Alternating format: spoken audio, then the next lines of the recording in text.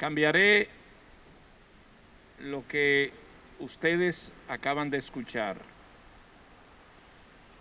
El maestro de ceremonia me ha pedido que dé unas palabras de bienvenida y no lo haré. A nadie que es de una casa se le da la bienvenida.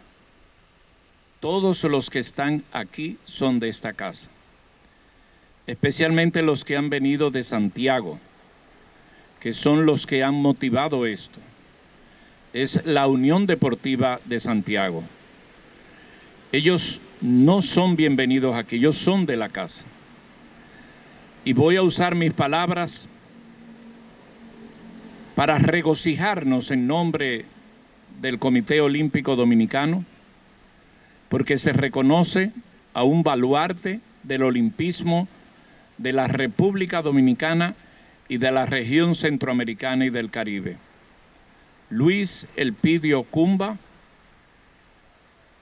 tiene los méritos suficientes, grandiosos, extraordinarios, merecedores de este galardón.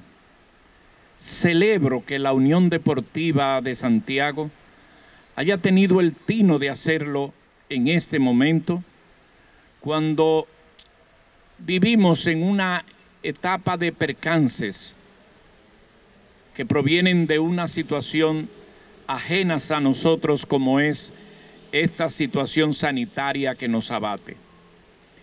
Nuestra sociedad, nuestros dirigentes, todos nosotros necesitamos los estímulos necesarios y oportunos para hacer valer y conocer a nuestra sociedad el peso que tiene no solamente cada uno de nosotros, sino por encima de todo nuestra institución madre que es el Comité Olímpico Dominicano.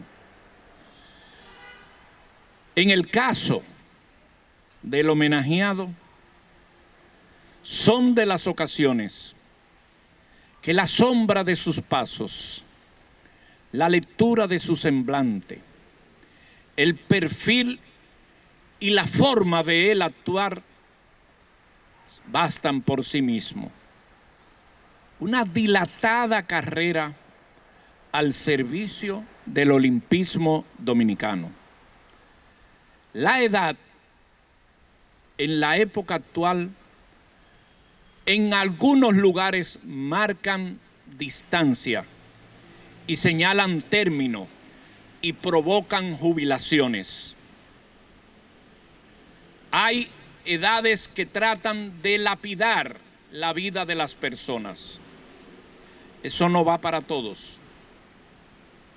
Porque hay personas que nacen siendo educadores y partirán de la tierra siendo educadores.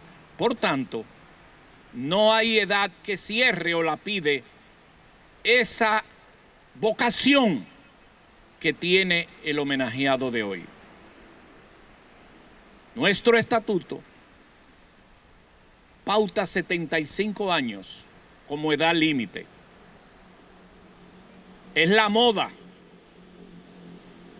Craso error.